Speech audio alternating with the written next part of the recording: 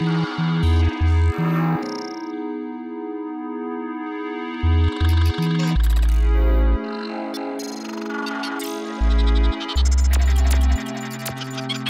So the simple truth about D-Link and the Digital Home Consumer campaign is that it's a big integrated campaign which spans the whole of Europe, um, covering both online and offline material. And it utilises an umbrella concept which is really accessible to consumers and easy to understand. So Sid the Spaceman is a little icon um, which is the fundamental point of the Digital Home campaign and he's a little character that we've created which he's used in both online and offline material.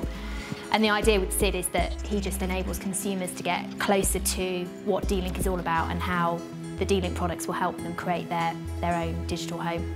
The difficulty with marketing D-Link is that fundamentally they're a technology brand, um, which means often there's a lot of jargon about the products and it can be quite difficult to explain to the consumer exactly what the product is and what the benefit is um, in an engaging way without them switching off to what you're saying. So the key with the creative across Europe for D-Link is to ensure that the advertising actually translates and not just the copy.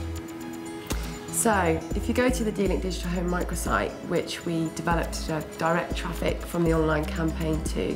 to educate them further about the products, um, you will see Sid outside of his digital home and you can go in and you can navigate around the different rooms and in each room Sid is in a different situation with a D-Link product and you can find out about the benefits of the different products.